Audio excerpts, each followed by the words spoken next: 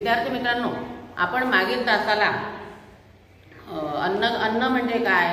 अन्नाची व्याख्या आरोग्य म्हणजे काय? अन्न व आरोग्य यांचा परस्पर संबंध आरोग्याची व्याख्या. जागतिक आरोग्य संघटनेने जी केलेली आहे डब्ल्यू एच ओने आरोग्याची व्याख्या ती आरोग्याची व्याख्या. त्यानंतर अन्न व आरोग्य यांचा परस्पर संबंध त्यानंतर अन्न घटक आपल्याला शरीरासाठी पोषणासाठी असलेले आवश्यक अन्न घटक जे आहेत सहा प्रकारचे.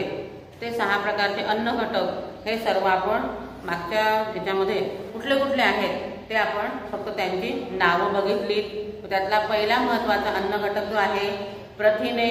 आपण प्रोटीन्स ज्याला म्हणतो तो प्रोटीन्सचं कार्य त्याच्यानंतर आपल्या शरीरामध्ये असणारी त्याची आवश्यकता त्याच्यानंतर त्याचं त्याचं प्राप्तिस्थाने आणि प्रथिनांचं कार्य आपल्या शरीराला काय आवश्यक आहे? का बरं आवश्यक आहे? त्यानंतर प्रथिनं आपल्या शरीरात न मिळाल्यास कोणते रोग होतात? हे सर्व आपण पाहिलं. तर आता यानंतर आपण दुसरा महत्त्वाचा अन्न घटक आज आपण पाहणार आहोत. तो म्हणजे पिष्टमय पदार्थ ज्याला आपण कार्बोहायड्रेट्स असं म्हणू. पिष्टमय पदार्थ. यालाच आपण मराठीमध्ये दुसरं नाव आहे कर्बोदके असं आपण त्याला म्हणतो.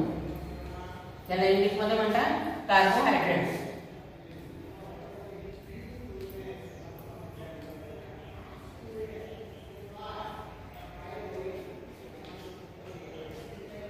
पिष्टमय पदार्थ हा जो आहे हा अतिशय महत्त्व अन्नाचा दुसरा महत्त्वाचा घटक आहे. आपल्या शरीराला मुख्य अन- इंधनाचा पुरवठा ह्या अन्न घटकाद्वारे होत असतो. हा जो आहे पिष्टमय पदार्थ हा अन्न घटक हा किमतीला स्वस्त आणि पटकन पोट भरणारा असा हा अन्न घटक आहे.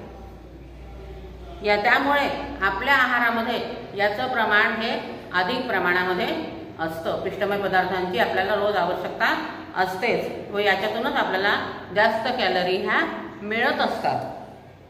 तर आपल्याला पहिल्यांदा पाहू आपण की एक ग्रॅम पिष्टम पहिलं पहिलं काय आहे? तर याच्यापासून आपल्याला पिष्टमय पदार्थांपासून उष्णता व शक्ती निर्माण करणे हे महत्वाचं कार्य याच्यातून आपल्याला प्राप्त होते. त्यामध्ये महत्वाचं कार्य याच्यामध्ये आहे. तर पहिलं एक ग्रॅम पिष्टमय पदार्थ जर आपल्या शरीरामध्ये एक ग्रॅमपासून आपल्याला चार कॅलरी उष्णता मिळते. तर एक वाक्य लिहून कमी नोट्स पाठवेल तुम्हाला. तर एक ग्रॅमपासून एक ग्रॅमपासून चार कॅलरी उष्णता मिळते हे काय माहिती का तुम्हाला जोडांमध्ये येतं विद्यार्थी मित्रांनो. चार कॅलरी उष्णता एक ग्रॅमपासून. हे? लक्षात ठेवायचं.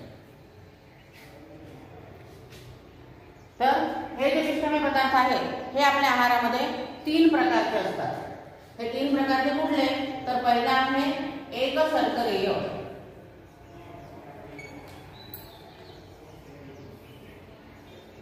दुसरा प्रकार आहे याचा द्विशर्करीय द्विशर्करीय आणि तिसरा प्रकार आहे बहुशर्करीय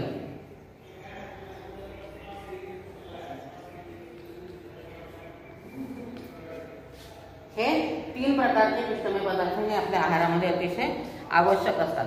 याच्यानंतर आपण पिष्टमय पदार्थ म्हणजे कर्बोदके यांची कार्य काय आहे ते आपण बघूया.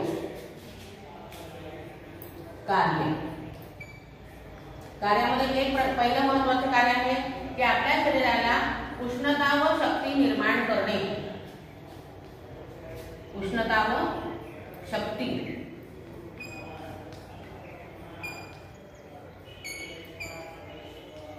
निर्माण करणे हे अतिशय महत्वाचं कार्य आहे पिष्टमय पदार्थाचं. की उष्णता व शक्ती निर्माण करणे. त्यानंतर दुसरा दुसरं कार्य आहे त्याचं की आपल्या आहारामध्ये जर समजा तिसरा जो अन्न घटक आहे आपला स्निग्ध पदार्थ याची जर कमतरता असेल तर त्याची पूर्तता हे पिष्टमय पदार्थ हे करत असतात. तर दुसरं कार्याचं स्निग्ध पदार्थाची कमतरता भरून काढण्यास स्निग्ध पदार्थांची कमतरता भरून काढण्यास.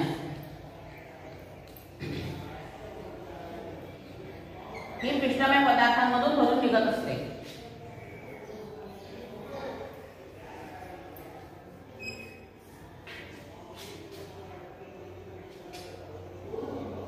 त्यानंतर तिसरं कार्य आहे की जीवनसत्वांच्या पचनास व शोषणास हे मदत करतात. जे चौथा पाचवा अन्न घटक आहे आपला जीवनसत्वे तो जीवनसत्वांच्या पचनास व शोषणास सुद्धा हे पिष्टमय पदार्थ हे मदत करत असतात. म्हणून तिसरं कार्य आहे? पिष्टमय पदार्थांचं जीवनसत्वांच्या पचनास व शोषणास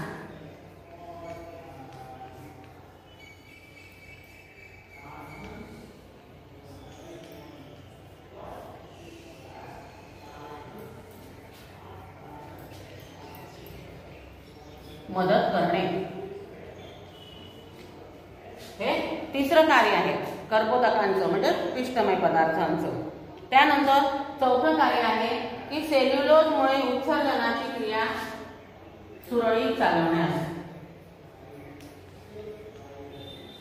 सेल्युलोजमुळे उत्सर्जनाची क्रिया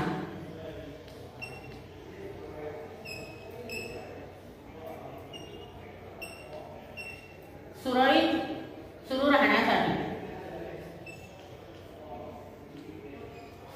सुरळीत म्हणजे व्यवस्थित सुरू राहण्यासाठी हा अच्छी तरह से होने के लिए तर याच्यामध्ये हे चार कार्य पहिलं कार्य पाहिलं आपण उष्णतावर शक्ती निर्माण करणे दुसरं कार्य पाहिलं की स्निग्ध पदार्थाची कमतरता भरून काढण्यास आपल्या शरीराला पिष्टमय पदार्थांची जर कमतरता असेल सॉरी स्निग्ध पदार्थांची जर कमतरता असेल तर ते पदार्थ पिष्टमय पदार्थातून ते आपल्या शरीराला घेतलं जातं त्यातून घेतलं जातं आणि ते पदार्थ पूर्तता त्याचे पिष्टमय पदार्थ हे करत असतात. त्यानंतर तिसरं आहे की जीवनसत्वांच्या पचनास व शोषणास मदत करतात. आणि चौथं कार्य आहे की सेल्युलोजमुळे उत्सर्जनाची क्रिया सुरळीत चालण्यात. आता सेल्युलोज आपण जे पिष्टमय पदार्थ खाल्ल्या भाज्या खातो आपण या पिष्टमय पदार्थांसोबत. आता पिष्टमय पदार्थ प्राप्तिस्थान आपण पुढे बघू. त्यासोबत पुन्हा हे येईलच. तर पहिल्यांदा फक्त कार्याचं लक्षात ठेवा की सेल्युलोजमुळे उत्सर्जनाची क्रिया सुरळीत सुरू राहण्यासाठी याची मदत आपल्याला होत असते. याची आवश्यकता किती आहे मग आता आपल्या शरीराला पुढचा मुद्दा आहे आवश्यकता. आवश्यकता. आता ही जी आवश्यकता आहे हे व्यक्ती जसा काम करतो बैठ काम करणारा जर व्यक्ती असेल तर त्याला पिष्टमय पदार्थाची कम हे त्याची त्याचं कमी प्रमाणामध्ये लागतील. आणि जर समजा तो मेहनत तोच व्यक्ती जर मेहनत करणारा असेल तर त्याला पिष्टमय पदार्थांचं हे प्रमाण हे त्याच्या आहारामध्ये हे जास्त असायला पाहिजे. जास्त असलं पाहिजे.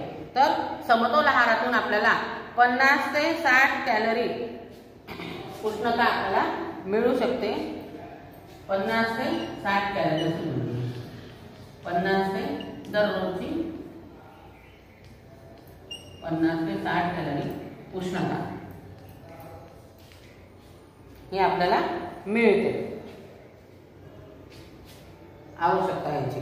आता याच्यामध्ये याच्यातून हे कशा कशातून मिळतात आपल्याला? तर यांची प्राप्तिस्थानं काय काय आहेत? पिष्टमय पदार्थांची प्राप्तिस्थाने आता पहिल्यांदा आपण सांगितलं की सर्व हे सर्वामध्ये सर्वात स्वस्त असतो हा पिष्टमय आहार. पिष्टमय आहार कशा कशातून स्वस्त कशा कशातून मिळतो ते आपण पाहू. तर गहू ज्वारी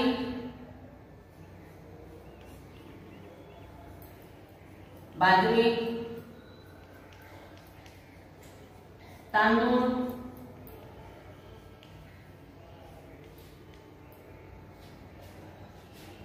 शेंगदाणे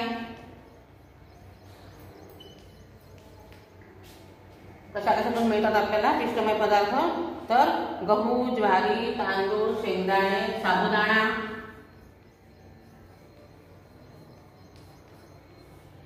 यातून आपल्याला हे मिळत असतात. यांची प्राप्तिस्थानं ही आहेत. मग आता उत्सर्ग आता हे जे कार्य सांगितलं सेल्युलोजमुळे उत्सर्जनाची क्रिया आता आपण याच्यापासून गव्हापासून ज्वारीपासून तांदूळापासून बाजरीपासून जे भाकरी पोळी तयार करतो आणि त्याच्यासोबत आपण भाजी खातो. तर ह्या भाजीमध्ये सेल्युलोजचं प्रमाण हे अधिक असतं विद्यार्थी मित्रांनो. तर पोळी आणि भाजी हे आपल्या आहारामध्ये असल्यामुळे आपला आहार हा समतोल होण्याचा होण्यासाठी खूप तयार होतो. तर त्यासाठी पोळी भाजीसोबत आपण जर भाजी खाल्ली तर भाजीमध्ये सेल्युलोज असल्यामुळे सेल्युलोज सोबत ती उत्सर्जनाची क्रिया त्याच्यासोबत ही होत असते. म्हणून त्याचं कार्य आहे की ती क्रिया ही सुरळीत चालते याच्यामुळे. मका मका. मका तर आता प्राप्तिस्थान प्राप्तिस्थान झाल्यानंतर आता हे जास्त घेतल्यास काय होईल? पिष्टमय पदार्थ जर आपल्या शरीरामध्ये जास्त झाले तर काय होणार आहे?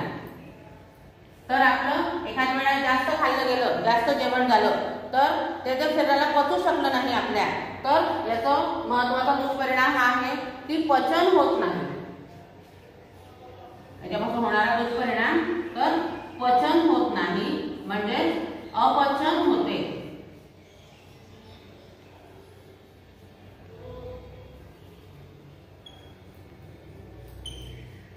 अपचन होते. अतिसार होतो. म्हणजे डायरिया होतो याच्यामध्ये आपल्याला. जर जास्त प्रमाणामध्ये घेतले त्याचे पचन झालं नाही आपल्या शरीरामध्ये तर ते कुठल्या तरी रीतीने हे शरीराच्या बाहेर टाकलं जातं. तर त्यामुळे त्याचं अपचन होते ते आपल्या शरीराला सहन होत नाही त्यावेळेला. आणि कमी घेतल्यास आता बघा याच्या विरुद्ध जास्त घेतल्यास काय झालं तर? काय होईल? आणि कमी घेतल्यास काय होईल कमी घेतल्यास एखाद वेळा आपल्याला जातच नाही जेवण तर त्यावेळेला काय होईल आपल्याला? अशक्तपणा वाढेल आपला. तो एकदम कमी घेतल्यास अशक्तता व दुर्बलता येईल. म्हणजे खूप थकल्यासारखं गळल्यासारखं आपल्याला त्यावेळेला तिथं वाढणार आहे. तर अशक्तता येईल कमी घेतल्यास त्याचं प्रमाण जर आपण पिष्टमय पदार्थाचं आपल्या शरीरामध्ये कमी झालं तर काय होणार आहे?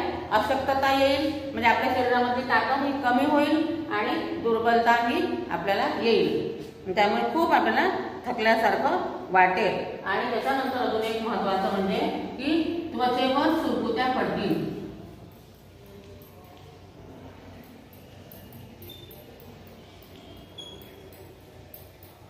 त्वचेवर सुरकुत्या पडतील म्हणजे पिष्टमय पदार्थ कमी प्रमाण कमी प्रमाणात आपल्या शरीरामध्ये जर घेतले गेले तर अशक्तपणा येईल दुर्बलता येईल आणि त्वचेवर सुरकुत्या पडतील. अशा प्रकारे पिष्टमय पदार्थ हा अतिशय महत्त्वाचा घटक आहे जो उष्णता व शक्ती आपल्या शरीराला प्राप्त करून देत असतो. त्यानंतर पुढचा अन्न घटक आपण पाहू स्निग्ध पदार्थ.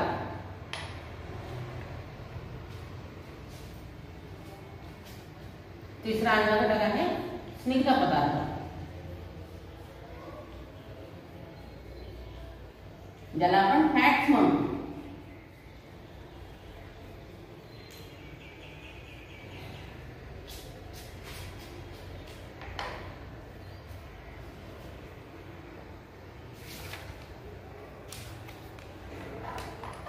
हा आता आतापर्यंत जे आपण दोन पाहिले अन्न घटक प्रथिने पहिला आणि दुसरा पिष्टमय पदार्थ या दोघांपेक्षा जास्त उष्णता देणारा जर अन्न घटक कुठला असेल तर तो आहे स्निग्ध पदार्थ तर ही उष्णता जास्त प्रमाणामध्ये याच्यामध्ये आपल्या शरीराला मिळत असते जास्त उष्णता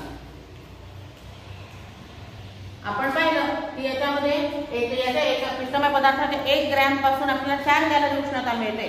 तर स्निग्ध पदार्थाच्या एक ग्रॅमपासून आपल्या शरीराला नऊ कॅलरी उष्णता मिळत असते. एक ग्रॅमपासून नऊ कॅलरी उष्णता ही आपल्या शरीराला मिळते. रिकाम्या जगामध्ये हे दोन्ही येतं की पिष्टमय पदार्थापासून चार कॅलरी आणि स्निग्ध पदार्थांपासून आपल्या शरीराला एक ग्रॅमपासून ही नऊ कॅलरी उष्णता आपल्याला मिळत असते.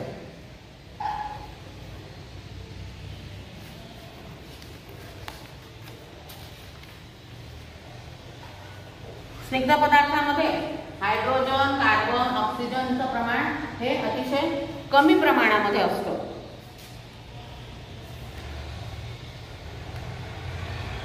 सॉरी स्निग्ध पदार्थात हायड्रोजन आणि कार्बन जास्त प्रमाणात असतात तर ऑक्सिजन हा कमी प्रमाणामध्ये असतो. स्निग्ध पदार्थातील कार्य पाहू आता याच्यानंतर. कार्य त्यांची स्निग्ध पदार्थांची कार्य. शरीरामध्ये उष्णता व शक्ती निर्माण करणे पहिलं कार्य आहे. जसं की आपण याच्यातही पाहिलं की शरीराला उष्णता व शक्ती पिष्टमय पदार्थांमुळे निर्माण होत असते. तर स्निग्ध पदार्थांमुळे सुद्धा शरीराला उष्णता व शक्ती ही निर्माण होत असते याच्यामुळे सुद्धा.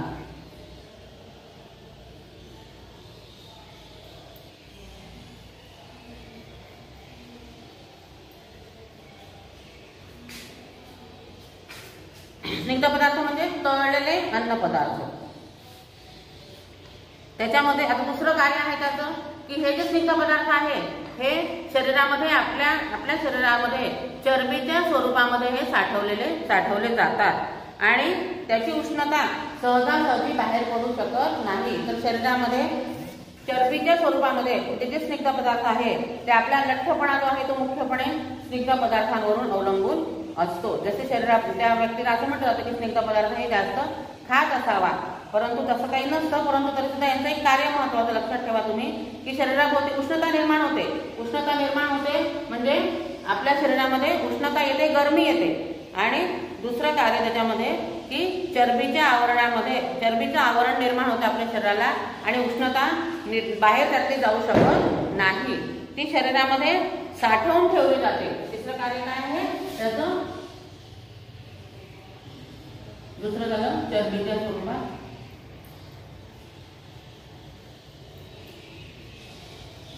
चरबीच्या स्वरूपात साठवली जाते.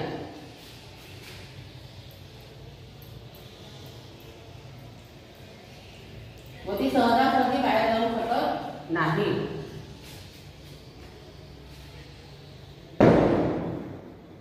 आणि आता ही जी साठवलेली उष्ण चरबीच्या स्वरूपामध्ये साठवलेली उष्णता आपल्या शरीरामध्ये तिचं काय होतं? तर हिच्या वेळेला अडचणीच्या वेळी आपल्याला त्याचा उपयोग होतो. तिसरं कार्य आहे याचं की अडचणीच्या वेळी त्याचा उपयोग आपल्या शरीराला होत असतो.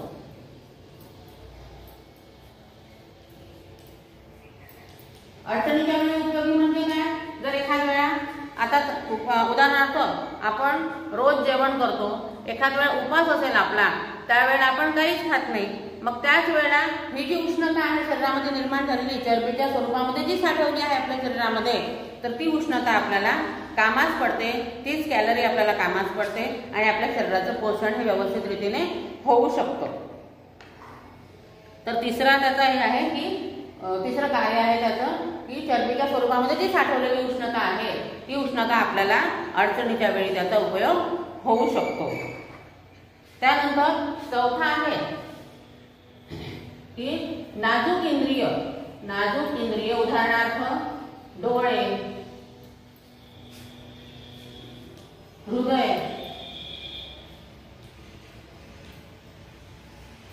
मज्जातंतू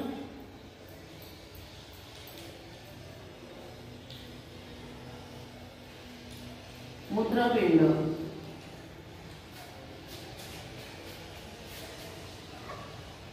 यांचं संरक्षण होतं ते जी चरबीचे स्वरूप चरबी जिथे साठवली जाते या नाजूक किल्ल्यांवरती तर त्याच्यामुळे त्याचं संरक्षणास याचा खूप उपयोग होतो. संरक्षणास. यांचं संरक्षण त्याच्यामुळे या चरबीच्या स्वरूपामध्ये जी साठवलेली असते त्याच्यामुळे ते इंद्रिय जे आहेत ते सुस्थितीमध्ये चांगल्या स्थितीमध्ये हे राहू शकतात. त्याच्यानंतर पाचवं कार्य आहे याचं की आपल्या शरीराला आकार प्राप्त होतो शरीर सौष्ठव प्राप्त होतो शरीराला योग्य आकार प्राप्त होतो याच्यामुळे.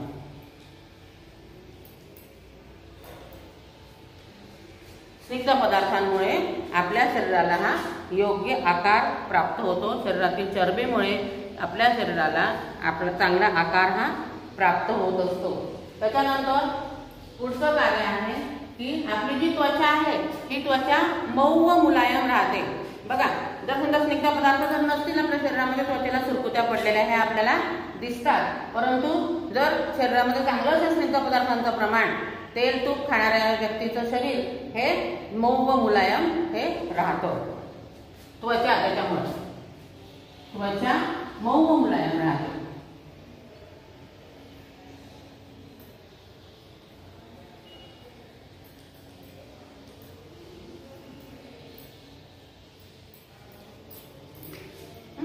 त्वचा मऊ मुलायम राहते उदाहरणार्थ हिवाळ्यामध्ये हे स्निग्ध पदार्थाचं प्रमाण हे आपण शरीराला आपल्या शरीरावरती सुरकुत्या पडलेल्या आपल्याला दिसतात हिवाळ्यामध्ये थंडीमुळे.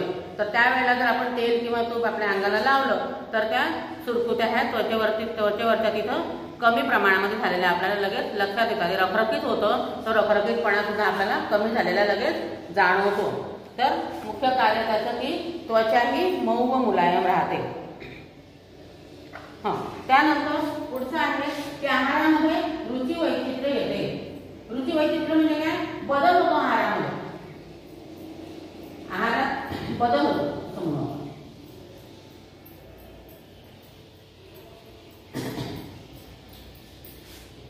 नुसता वरण भात खाल्ल्याने किंवा नुसतं वरण पोळी खाल्ल्याने आपलं जे साधं जेवण आहे त्याच्यामध्ये जर आपण कुरडई पापड भजे अशासारख्या जर वस्तू सेवन केल्या खाल्ल्या तर आपल्या तोंडाला एक विशिष्ट चव येते आणि आपल्या आहारामध्ये रुची निर्माण होते आणि रुची वैचित्र्य निर्माण होते म्हणजे आहारामध्ये बदल होतो.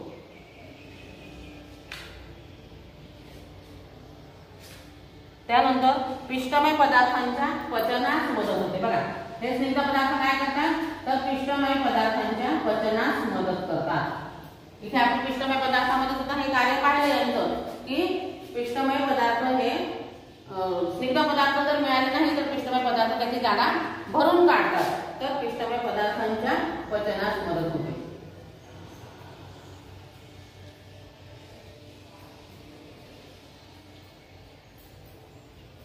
पिष्टमय पदार्थांच्या पचनास हे स्निग्ध पदार्थ हे मदत करत असतात. आता याच्यानंतर हे कार्य झाल्यानंतर आठ प्रकारचे याचे कार्य आहे. त्यानंतर हे आता असं हे जे पाहिलं आपण त्याच्यानंतर काय व्हायला त्याच्यानंतर जास्त घेतल्यास काय होईल? जास्त घेतल्यास काय होईल आणि कमी घेतल्यास काय होईल आपण नंतर पाहू. पहिल्यांदा पाहूया जास्त प्रमाणात घेतल्यास काय होणार आहे?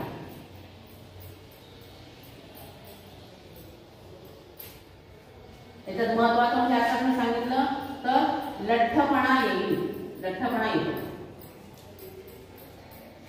स्निग्ध पदार्थांचं प्रमाण जर आपल्या शरीरामध्ये जास्त झालं तर महत्वाचं म्हणजे लठ्ठपणा येतो. स्निग्ध पदार्थ हे चरबीच्या रूपामध्ये आपल्या शरीरावर साठवले जातात. त्यामुळे हृदयस्पंदनास त्रास होतो. बघा काय होतं? तर हृदय जे आहे ते हृदयाला हृदयावर परिणाम होतो. हृदय स्पंदन होत नाही. हृदयाचे ठोके व्यवस्थित चालत नाही ते चांगल्या रीतीने चालत नाही. त्यानंतर काम करताना दम लागतो. म्हणजे शरीरामध्ये स्निग्ध जे आवरण आहे चरबीचं ते आपल्या नसांवरचं हे जास्त होतं. त्यामुळे आपल्याला काम करताना दम लागत असतो. त्यानंतर पित्ताशयात खडे होण्याचा संभव येतो. पित्ताशयात खडे होऊ शकतात. स्निग्ध पदार्थ जास्त जर खाल्ले आपण शरीरामध्ये तर पित्ताशयात खडे होण्याचा संभव असतो. आणि आता कमी घेतल्यास पुढचं कमी जर घेतले ते तर काय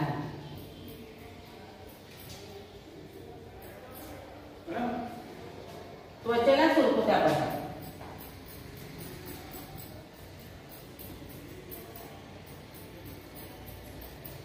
त्वचेला सुरकुत्या पडतात. तर आज आपण आज पिष्टमय पदार्थ अन्न घटकांपैकी जे आहे ते पिष्टमय पदार्थ आणि दुसरा अन्न घटक त्यातला स्निग्ध पदार्थ हे आपण आज पाहिले. यानंतरचे अन्न घटक आपण पुढच्या तासाला पाहूया. थँक्यू हे मॅडम बंद करताना ना स्टॉप स्टॉप एक वेळ मग इथं चौकटवर हे करायचे. बोल इथं